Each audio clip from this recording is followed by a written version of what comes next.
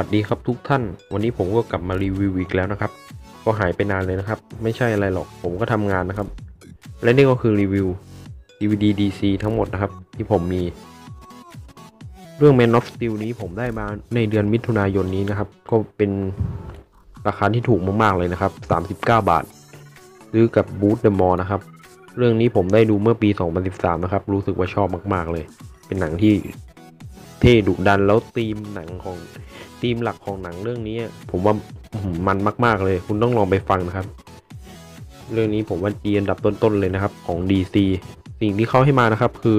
เสียงไทย5.1 ขนาดภาพคือ 16 ต่อ 9 ด้านภาพคือ 2.40 ต่อ 1 นะครับ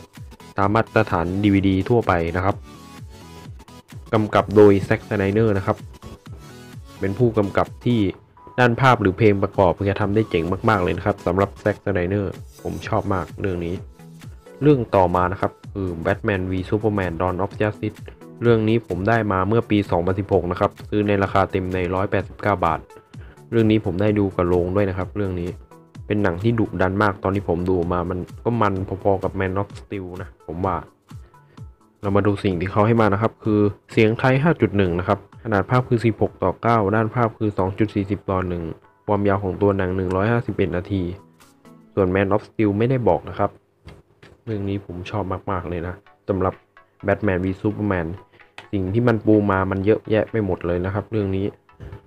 แล้วแซ็กซ์ไนเนอร์เหมือนเขาจะทำจบภายใน 5 เรื่องนะหนังจริง ๆ ของเขาอะแต่ว่าความคิดเห็นของค่ายวอร์เนอร์ต้องการให้ หนัง DC ยืดมีหลายเรื่อง เรื่องต่อมานะครับคือ Suicide Squad เรื่องนี้ผมได้ดูเมื่อปี 2016 นะครับ ตอนนี้มันเข้าโรงแล้วก็มีแผ่นเก่าที่ผมเคยซื้อมาในปี 2016 นะครับปลายปลายปีอะ อันนี้ผมก็ซื้อมาใหม่ในราคา เอ่อ 99 บาทนะครับ ปกสวมด้วย ผมก็เลยหยิบมาเลย แล้วมันมีอีกราคาหนึ่งมีแบบมีการ์ด ผมก็ไม่ได้ซื้อมานะ อยากได้อย่างนั้นมากกว่า ไปหยิบผิดหยิบอันนี้มา ราคาก็เท่ากันนะครับ 99 บาท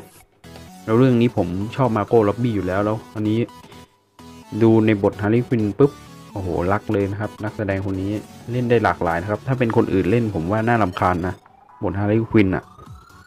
เออนั่นแหละ ถ้าเป็นแบบคนอื่นเน่ะเป็นผู้หญิงคนอื่นนักแสดงหญิงคนอื่นนะผมว่านะ แต่ตัวละครอื่นก็ดูดีนะครับ ดูดีหมดแล้วครับ มีเสน่ห์ดีเรื่องนี้ สิ่งที่เขาให้มานะครับ คือเสียงอังกฤษ โปรตุเกสสเปนนิส ไทยนะครับ ทุกอย่างคือ 5.1 นะครับ ความยาวของตัวหนัง 123 นาที ขนาดภาพคือ 16 ต่อ 9 ซับให้มา 6 ภาษานะครับ เรื่องนี้ก็ให้เยอะเลยนะสำหรับปกสวมตามราคา แม้ว่าคนอื่นผมก็อาจบ่นไม่ชอบนะครับ แต่ผมว่าก็โอเคนิดนึงนะก็โอเค พอสนุกอยู่ตัวละครมันดูเสน่ห์อะผมเป็นไรไม่รู้นะ เวลาผมดูหนังอะเวลาตัวละครมันดูมีเสน่ห์ปุ๊บผมจะชอบมากกว่าบทหนังหรือตัวหนังซะอีก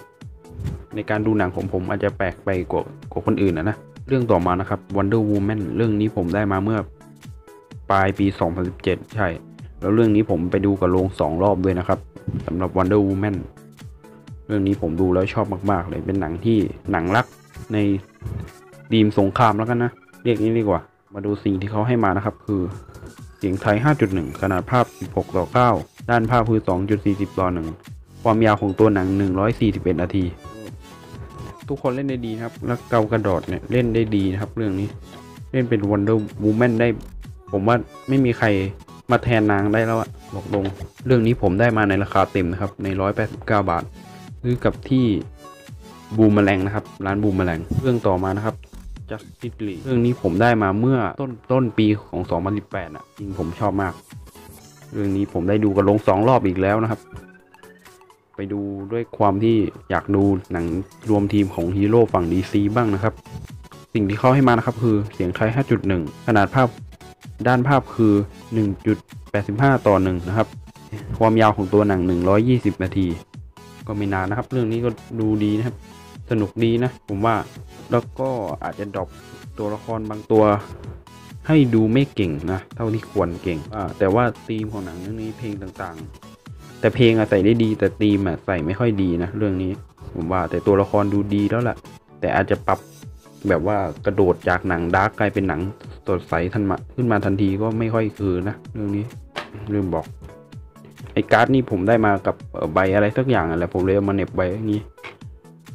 ได้มากับอะไรสักอย่างผมลืมละรู้สึกว่า ดูสวยนะครับเรื่องนี้ ต่อมาครับ อ q u a m a n เรื่องนี้ผมได้ดูกระโรงนะครับสองรอบ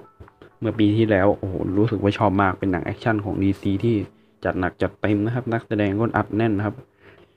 ว่าเจสันโมโมอาเนี่ยแกแสดงเป็นอ q u a m a n ได้เจ๋งมากเหมือนแกไม่ไม่ใช่อ q u a m a n เหมือนอ q u a m a n เป็นแกอะผมว่า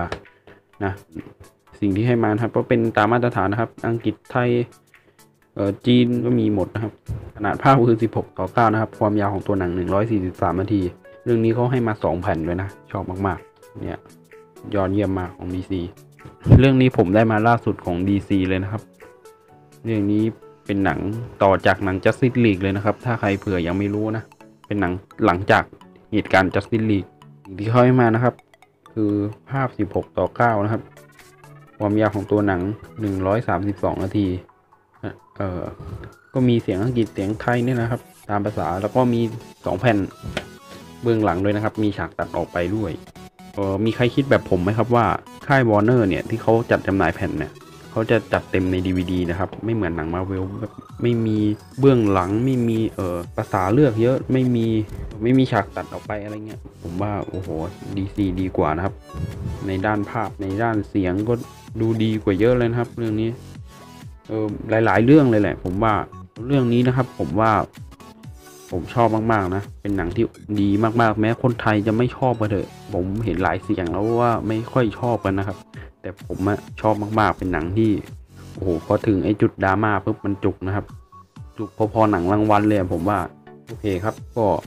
นี่คือการรีวิว DVD DC นะครับ มีอะไรก็คอมเมนต์ติชมกันมาด้านล่างนะครับ เดี๋ยวผมก็ไปตามอ่านเช่นเคยสำหรับคลิปนี้มีเพียงเท่านี้นะครับ ก็อาจจะกลับมาในอีกไม่ช้า งั้นไปก่อนละครับ สวัสดีครับ จะแซม